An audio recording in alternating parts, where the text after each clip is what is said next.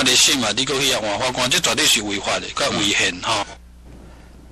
这个就是蔡守信揭发了，说阿扁动员的很多的人一直在干扰司法，甚至必要的话，请他的律师都要出去了。可是你刚刚讲那个更重要的，哎，连蔡守信他可能都有压力。今天是连民进党、台南市党部都是什么？打电话去总统府跟台北地院，对着马英九之外，就是对着蔡守信来了。其实外面的干扰还是小事情，最怕是内部，尤其是你的长官。过去我们办案的时候，我最防的是谁？防我的长官 所有我证据哦，我送上去哦，大概五成而已，另外五成放在手上。为什么？要不然你通通把我卖掉了嘛？是不是？所以说来了以后，被告来了以后，他说：“哎，哎，你的长官没有跟我讲到这一段啦。”所以说这很糟糕。所以蔡守信在审到审到前一阵子，问到林德训说：“呃，林德训说有司法先进到他这个办公室里面在谈这些事情的时候。”他真的是愣住了，后来才发现说，我今天这个案子国务机要费审不下去，原来是我的长官在后面做出主意啊，所以说这种心情我是感同身受哈。另外他还有讲到一点哈，法务部的部分呢，法务部侦查机关有没有安装啊？常常有人跟我在反映了，说为什么法务部尤其是特侦组动作，他们都很一清二楚，都清清楚楚的，更何况哈。今天我们回头想一想，朱朝亮跟吴文忠怎么搞下台的？其实这个资讯也是特征组里面的人给陈水扁说，整个特征组里面对你最有意见的就是这两个人。所以说吴文忠下台的时候，他讲了一句话，他说什么？我是被蒋干给害了，中了反间计啊！所以说我被害了，非战之罪啊！我没有做什么事情，他到底做了什么事情？这两个人。到底做什么事情？也不过就是去兰若寺去会跟陈水扁会个面，照个相而已。照个相也，人家是要设计好的。跟你跟你先那个司法先定到总统府里面去跟陈水扁怎么谈，怎么样运作，让他解释令，让视线用视线的方式停止所有审判。还有什么事情比这个还要严重？蔡守信在裁定文里面清楚是明白讲的，林德训在庭上很清楚是提出来嘛，对不对？司法院的高层，对不对？还有这个先进，对不对？还有法务部的人啊，讲了吗？谈完之后，把前案列为机密啊，严重干扰诉讼啊，导致他的案子都审不下去嘛。可是今天更严重的，人家有人说打电话去跟替他去台北地院对他抗议了。我想法官哦，真的外面的声音影响真的有限啊。那法官还好，他是宪法上终身保障，但是刚刚讲的就是会对他有压力的是谁？在以前没有司法改革之前，他的判决出来是要给人家审的。审完才能出来。那后来司法改革之后是先写，先出去，再再再去会诊。然后他的考绩是来自于他的长官，还有对他判决书上面的一些，啊，比如说高院有没有维持这样的考绩。所以真正能够影响他的，像蔡守勋本身是庭长，其实还好。他他自己是庭长，他这三他这个庭，他们三个法官做做合议。但是到高院去，如果你今天是一个受命法官，对你影响最大的是谁？是庭长。好，也就是说，对。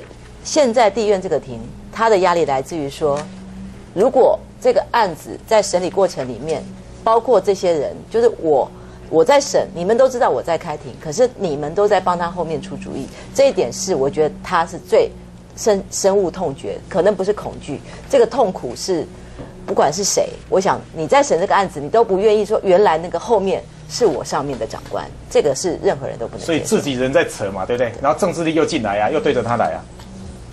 我觉得说这个事情哦，真的是最近这一阵阵子以来大家最关心的事情。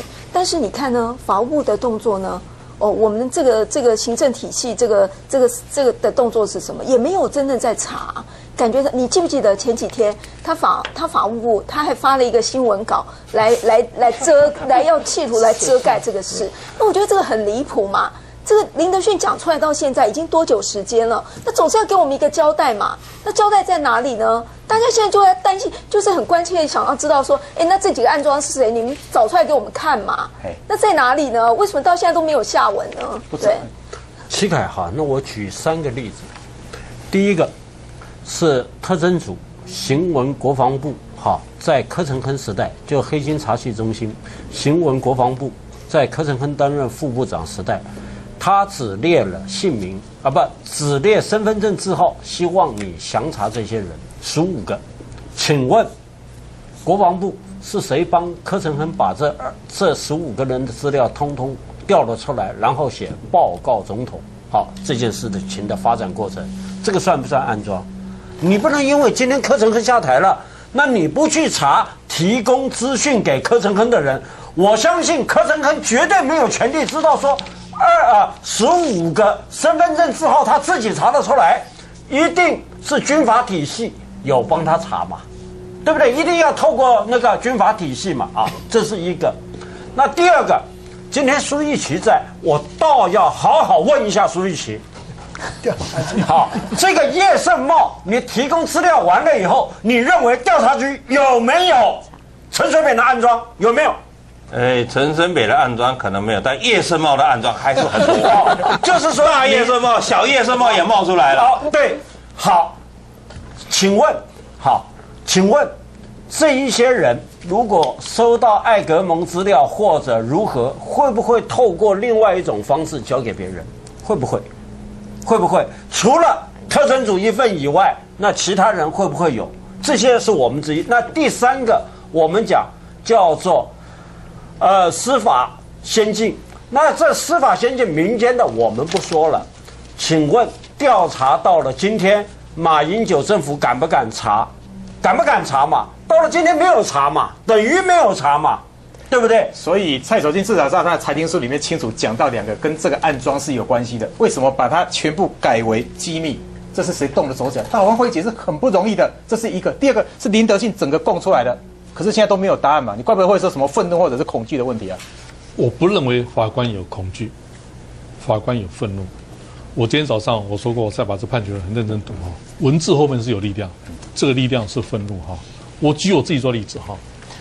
陈信瑜控告，因为我揭发陈信瑜在海外账户，这是由北院一位叫做黄雅芬的审判长跟两另三位都女法官哈。这个官司缠斗三年了，我从来没有从我算很敏感的，我从来没有从这三位法官看到他们的眼神有恐惧，但是我觉得他们都在扮演公益角色哈。黄雅芬判我无罪，那时候陈水扁在执政了，他也知道判这个结果会怎么样，结果没怎么样，很好啊。判对了，事实证明有海外账户啊。我用这个逻辑啊，蔡守信法官恐惧什么呢？他何恐惧自由呢？耶稣说，爱里面有恐惧啊。他坚持公益，怎么会恐惧呢？愤怒是有的。法官为什么不能愤怒呢？看到一个累犯，而且是现任国家元首，如此的跟法官缠斗，如此回过头来挑战国家公权力，法官只有愤怒而没有恐惧啊。我想我说对了蔡法官的想法告土告洋状有用吗？黄景是不是去美国告土状到台侨社团走一圈了啊？回过头来讲，我做个比较哈。潘基文联合国秘书长千里迢迢跑到缅甸，对缅缅甸总理温瑞说：“你们要释放，不能要终止对翁山书记的审判。”当然还没有结果。有哪一个世界级的像潘基文跑到台湾说终止审判？难道只有孔杰龙吗？就一个人吧，还有几个嘛？我都没有听过的哈。曼德拉他的鲁宾岛被列为世界遗产，为什么？他们都政治化的，敢于跟公益不义对抗的。陈水扁是站在贪腐一边、错误历史一边，他不是不是站在公益一边的。所以正如我说的，黄雅芬。或蔡守信，我所我所面对这这两个法官都是很好一流的法官，他们做公益的判决，不是吗？后来咱听下观众比较想要花。